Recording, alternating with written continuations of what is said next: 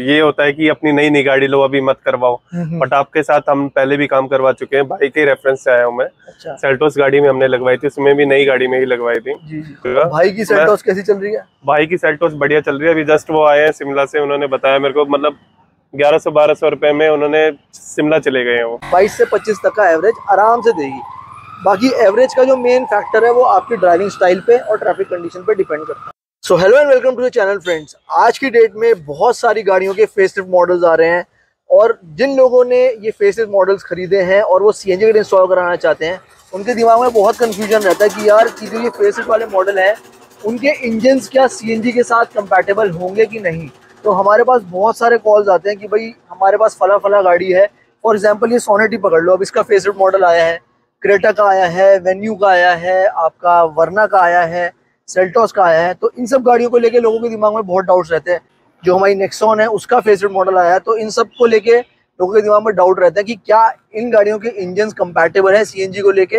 तो इस वीडियो के ज़रिए मैं आपका ये डाउट क्लियर कर देता हूँ कि इन गाड़ियों के फेसलिफ्ट मॉडल ज़रूर आए हैं, मगर जो इनमें इंजन हैं, वो सेम वही पहले वाले ही हैं। तो जैसे कि ये 1.2 लीटर्स का फोर सिलेंडर इंजन है, इस वाली सोनेट में सेम यही इंजन पहले वाली सोनेट में भी था। तो आप आराम से इन दोनों गाड़ियों में सीएनजी किट इंस्टॉल करा सकते हो, चाहे वो B S six phase one की हो या फ़ेज़ टू की हो, चाहे ऑटोमेटिक हो, आप आराम से इस गाड़ी में सीएनजी किट इंस्टॉल करा सकते हो। अप्रूवल्स भी हैं आरसी पे भी होगा, मगर हाँ अगर आपके पास जीडीआई इंजन टर्बो वाली जो आ रही है, इसमें थ्री सिलेंडर वाली, अगर आपके पास वो गाड़ी है तो उसमें अप्रूवल्स नहीं है, उसमें C N G R C पे इंडोस नहीं होगी। तो आज जो हमारे पास गाड़ी है, ये आप देख सकते हैं फेस वाली सोनेट है। आज हमने इसमें government approve B S six kit लगाई है तो एक बार मैं आपको दिखाता हूँ कि हमने इस गाड़ी में जो किट का प्लेसमेंट किया है, वो किस तरह से किया है। और जो किट का प्लेसमेंट इसमें हुआ है, वही सेम फिटिंग जो इससे पहले वाला मॉडल आता था फेस से पहले वाला, यही सेम फिटिंग उसमें भी होगी। क्रेटा में भी यही फिटिंग होगी सेल्टोस में भी यही फिटिंग होगी कैरेंस में भी यही होगी, और जो वर्ना फेस लिफ्ट है, उसमें भी यही सेम फिटिंग होगी, और यही इसी तरह से सारा सामान का सेटअप होगा। तो तो शुरुआत करते हैं, ये हमारा फिलिंग वॉल्व है, इसी के थ्रू हम गाड़ी में गैस फिल कराते हैं रिड्यूसर है रिड्यूसर काम होता है। सिलेंडर से आने वाली हाई प्रेशर गैस को गाड़ी के अकॉर्डिंग प्रेशर में कन्वर्ट करना, साथ में ये गेज होता है गेज का काम होता है, जो स्विच होता है गाड़ी में, उसमें इंडिकेट करना कि गाड़ी में अभी कितनी गैस है और हमें कब नेक्स्ट फिल कराना है।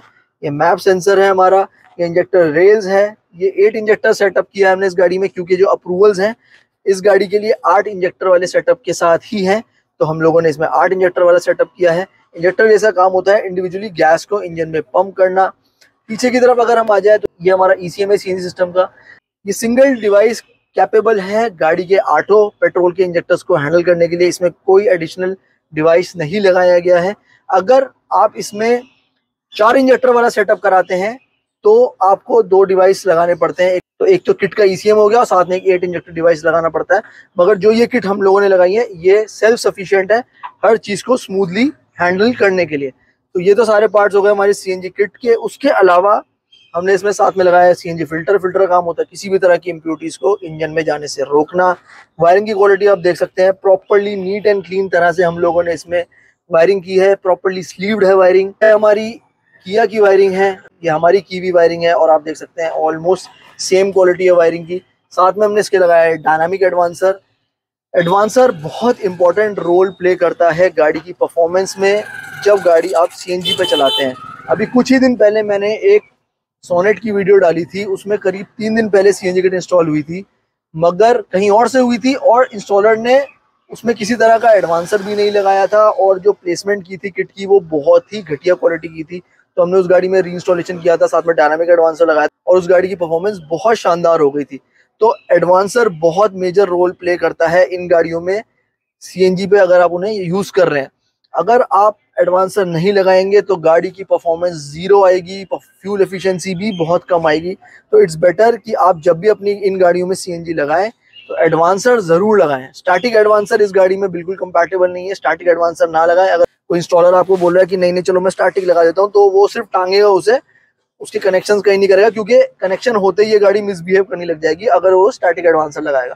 तो डायनामिक एडवांसर ही लगवाएँ, जब भी आप लगवाएँ, और सिर्फ़ डायनामिक एडवांसर लगा देने से ही नहीं होता डायनामिक एडवांसर की ट्यूनिंग भी करनी पड़ती है as per the engine potential ऐसा नहीं है कि आपने अपने इंस्टॉलर को फोर्स किया कि भाई नहीं एडवांसर चाहिए चाहिए चाहिए, और वो बस डायनामिक एडवांसर टांग दे और उसको सही से ट्यून ना करे तो वो अच्छे से परफॉर्म नहीं करेगा और गाड़ी आपकी बहुत ही बेकार चलेगी। एवरेज एवरेज सब खत्म, कोई फ़ायदा नहीं होगा सीएनजी लगाने का।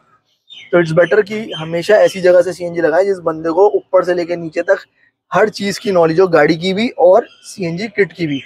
इस गाड़ी में हमने जितने भी कनेक्शन किए हैं, वो सारे सोल्डरिंग के थ्रू किए हैं कपलर टू कपलर नहीं किए हैं, क्योंकि कपलर्स जो हैं, वक्त से ढीले पड़ जाते हैं और गाड़ी में अनएक्सपेक्टेड जर्क्स और मिसिंग के इश्यूज़ आने लग जाते हैं। ये जो किट हमारे पास आती है, इसमें साथ में कोई कपलर्स कंपनी की तरफ़ से हमें नहीं दिए जाते। तो हम लोग बाहर से परचेज करके किसी भी तरह के लोकल कपलर्स गाड़ी में यूज़ नहीं करते। बहुत सी जगहों पे आपने देखा होगा, बहुत से इंस्टॉलर्स बोलते हैं, नहीं, coupler to coupler coupler to coupler. देखिए, कपलर जो आते हैं, जो बाहर से लिए जाते हैं, वो किसी भी रेपुटेड ब्रांड के नहीं होते। वो वक्त के साथ ढीले हो जाते हैं और गाड़ी में परेशानी आने लग जाती है। तो इट्स बेटर कि आप वायर कट करा के सोल्डरिंग करा लो। सोल्डरिंग कराने के बाद करंट का फ्लो सेम वैसे ही रहता है जैसे कि वायर कटने से पहले था। और रिलायबिलिटी भी 110 परसेंट बनी रहती है, कोई इशू नहीं आता गाड़ी में। तो आप देख सकते हैं एक बार कि किस तरह से हम लोगों ने इस गाड़ी में सारी प्लेसमेंट की है किट की, हर चीज़ तरीके से इंस्टॉल्ड है। कुछ भी चीज़ आपको ऐसा नहीं लगेगा कि कहीं भी लटका दी, कहीं भी टांग दी डायनामिक प्रॉपरली लगाया है ईसीएम प्रॉपरली लगाया है। बहुत से मैंने इंस्टॉलर्स देखे हमारे पास गाड़ियाँ आती है री के लिए, सामने कहीं भी ईसीएम को टांग देंगे टेढ़ा मेढ़ा करके, जहाँ जगह मिली उसको टांग दिया। ये नहीं कि उसके लिए प्रॉपर जगह बनाए प्रॉपर ब्रैकेट तैयार करें और उसे प्लेस करें। पार्ट जितनी मजबूती के साथ लगाए जाएँगे, उनके अंदर फ्यूचर में प्रॉब्लम्स आने के चांसेस उतने ही कम से कम रह जाते हैं। तो हमेशा अच्छी जगह से रिलायबल जगह से आप अपनी गाड़ी में सीएनजी किट इंस्टॉल कराएँ। रेफरेंस के लिए आप मेरी लास्ट वीडियो देख सकते हैं। सोनेट वाली वाइट रंग की सोनेट थी। तीन दिन पहले ही लगी थी, मगर ओनर बहुत परेशान थे। तो उसमें हमने किस तरह से काम किया और पहले क्या काम हुआ था, वो आप देख सकते हैं। तो अब चलते हैं एक बार बूट स्पेस की तरफ़। एक चीज़ और, बहुत से लोगों का ये कंसर्न होता है कि यार उन्हें बार बार बोनेट नहीं खोलना सीएनजी भराने के लिए तो वो पीछे से यहाँ भी फिलिंग नोजल लगवा सकते हैं। अच्छा खासा स्पेस यहाँ पे मिला हुआ है, कंपनी की तरफ़ से आराम से यहाँ पे रेयर फिलिंग नोजल लगाया जा सकता है। अब बात करते हैं बूट स्पेस की। तो ये हमारा सोनेट का बूट स्पेस 12 किलो का हमने इसमें सिलेंडर लगाया है, यानी कि 60 लीटर्स का। स्टैंड की क्वालिटी आप देख सकते हैं। पाइप वाला स्टैंड है, साथ में इसमें रबर ग्रिपिंग भी है, साथ में डक्टिंग भी किया हमने। तो आप देख सकते हो अच्छा खासा लगेज एरिया आपको मिल जाता है।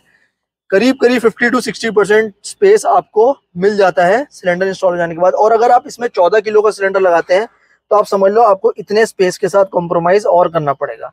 आधा आधा इंच दोनों तरफ़ से बढ़ेगा, करीब एक इंच सिलेंडर और बाहर की तरफ़ आ जाएगा तो स्पेस थोड़ा कम रह जाएगा। तो ये तो हो गया हमारा पूरा इंस्टॉलेशन अब एक बार गाड़ी के ओनर से हम पूछते हैं तो सर, आपकी ब्रांड न्यू सोनेट है चौदह पंद्रह दिन पुरानी है हाँ, तेरह सौ हाँ। करीब किलोमीटर आपने चला रखी बिल्कुल। आज आपकी ब्रांड न्यू गाड़ी में हमने सीएनजी किट इंस्टॉल की सारा काम आपके सामने हुआ। हाँ, काम कैसा लगा और गाड़ी अभी आपने चलाई? मतलब पिकअप की बात करें तो पिकअप बहुत बढ़िया है अभी गाड़ी का। अभी फ़र्स्ट टाइम मतलब ये होता है कि अपनी नई नई गाड़ी लो अभी मत करवाओ। But hmm, hmm. आपके साथ हम पहले भी काम करवा चुके हैं भाई के रेफरेंस से आया हूँ मैं। अच्छा। सेल्टोस गाड़ी में हमने लगवाई थी उसमें भी नई गाड़ी में ही लगवाई थी। जी जी। और काम काफ़ी अच्छा हुआ है बिल्कुल स्मूथली काम हुआ लग नहीं रहा हमने कुछ काम करवाया है। और जो मेरी शिकायत थी कि इसमें स्पेस बचेगा या नहीं बचेगा सिलेंडर हम्म, लगाने के बाद हाँ वो डाउट पूरा क्लियर हो चुका है। और सबसे बड़ी बात कि मेरे को बार बार बोनेट नहीं खोलना पड़ेगा कि पीछे से हाँ फीलिंग वॉल पीछे लग गई है तो सबसे बढ़िया कि ऐसा लग रहा है कि कंपनी फिटेड काम हुआ है। मतलब ये है कि एक कंफर्ट हो गया कि बार बार बोनेट नहीं खोलना इतना भारी बोनेट है गरम गरम होता है गर्मी में तो हाँ, तो वो आराम रहेगा। बाकी काम आपको बढ़िया लगा। बिल्कुल बढ़िया मेरे को काम लगा। भाई की सेल्टोस कैसी चल रही है? भाई की सेल्टोस बढ़िया चल रही है। अभी जस्ट वो आए हैं शिमला से उन्होंने बताया मेरे को मतलब ग्यारह सौ बारह सौ रुपए में उन्होंने शिमला चले गए हैं वो। मतलब, मतलब एक तरफ़। एक तरफ़। मतलब हम्म। बढ़िया एवरेज उनकी दे रही है। तो उन्होंने बोला कि इधर चले जाओ। हाँ उन्होंने ही बोला। तो मैं काफ़ी टाइम से वीडियोस वगैरह भी आपकी देख रहा था तो अच्छा लगा मेरे को फिर मैं उनके रेफरेंस से आ ही गए यहाँ पे। तो देखो जी सर हमारे सेटिस्फाइड हैं। देखिए भाई के एक बड़े भाई हैं कज़न उनकी सेल्टॉस में हमने शुरुआत में लगाई थी सीएनजी जिस टाइम अप्रूवल्स नहीं आए थे। उनकी गाड़ी में जो हमने सीएनजी लगाई हुई है वो चार इंजेक्टर वाली लगाई हुई है और डायनामिक एडवांसर भी साथ में लगाया हुआ है। आठ इंजेक्टर वाला सेटअप उनकी गाड़ी में नहीं है। मगर उनकी गाड़ी बहुत बढ़िया परफॉर्म कर रही है और उन्होंने ही, भाई को बोला अपने कज़न है ये उनके, कि भैया यहीं चले जाओ रिलायबल काम होगा तो खैर। देखिए हमारे पास बहुत सारी क्वारीज आती हैं, बहुत सारे लोगों के डाउट्स होते हैं। पहला सबसे होता है कि भाई कौन सी किट लगाओगे? सबसे पहला सवाल होता है, मेरी गाड़ी में कौन सी किट बेस्ट चलेगी? हर वीडियो में ये बात कहता हूँ all government approve brands are good it's all about good installation and tuning आप महँगे से महँगा ब्रांड ढूंढ लो डायनामिक लगा लो, सब कुछ लगा लो, मगर इंस्टॉलर को नहीं पता। किस तरह से प्लेसमेंट करनी है और ट्यूनर को नहीं पता किस तरह से ट्यून करनी है गाड़ी। किट को कैसे ट्यून करना है गाड़ी के पोटेंशियल पोटेंशियल के अकॉर्डिंग तो गाड़ी आपकी अच्छी नहीं चलेगी।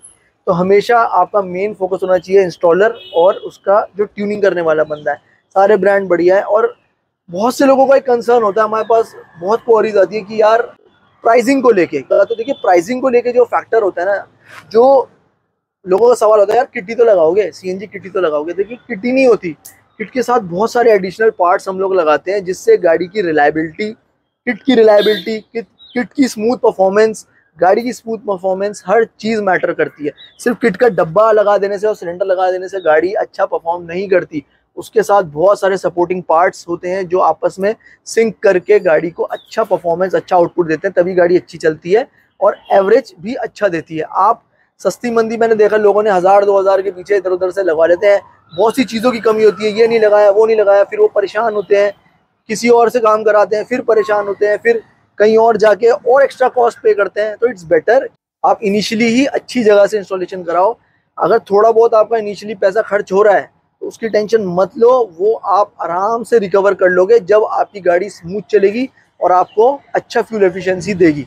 तो हर वीडियो में ये बात मैं कहता हूँ इनिशियली आप लोग बिल्कुल भी स्ट्रेस मत लिया करो कि यार क्या करना है, क्या नहीं करना है। लोग क्या करते हैं, हज़ार, दो हज़ार के पीछे ना अपना जिनसे उनको काम कराने का दिल होता है, उनको छोड़ देते हैं और कहीं भी काम करा देते हैं और फिर घूम फिर के वहीं आ जाते हैं कि भाई यार, अब आप देख लो तो इट्स बेटर एक ही बार में अच्छी जगह से रिलायबल जगह से काम कराओ, ताकि आपकी गाड़ी एक ही बार में बेस्ट फिटिंग हो जाए और बेस्ट परफॉर्मेंस दे। और एक सवाल, एक डाउट लोगों के दिमाग में और रहता है फ्यूल एफिशिएंसी को लेके। तो अब जैसे भाई की गाड़ी ये बता रहे हैं कि अभी इन्होंने 1300 किलोमीटर चलाई है, इनको 12 का एवरेज दे रही है पेट्रोल पे। तो इनको मोटा मोटी 20 से 22 का एवरेज सीएनजी पे आराम से मिलेगा। और अगर इनकी गाड़ी जैसे अभी नहीं है, अभी धीरे धीरे थोड़ी रवा होगी तो 14-15 तक इनका एवरेज पेट्रोल पे पहुंचेगा तो इनको आराम से 22 से 25 तक का एवरेज आराम से देगी।